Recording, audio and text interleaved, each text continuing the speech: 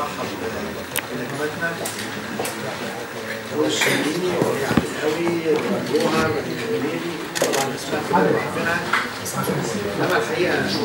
كان عندنا بطوله قويه في فرنسا في بطوله عالم السيدات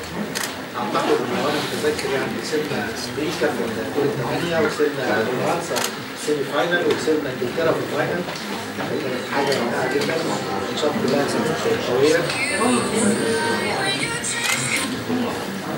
حاجة جميلة لما يكون عندنا منتخب كده انما يؤدي أي بطولة نكون إحنا المرشح الأول وإحنا كل الناس في اسكندريه ما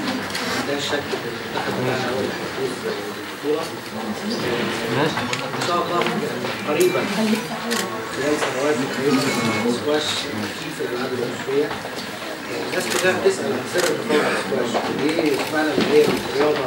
اللي دايما بتحقق نتائج عالية؟ عندنا من العشر الاوائل يمكن عندنا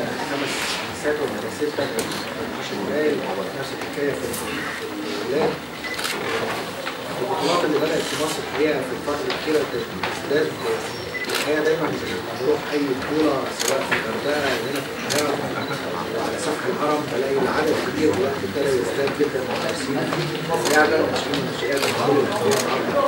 تزيد عدد اللي بيمارسوا اللعبة لأن وجد قدامهم امثله كبيرة. هي رئاسة الجمهورية دايما بتبعت لنا بتاعتنا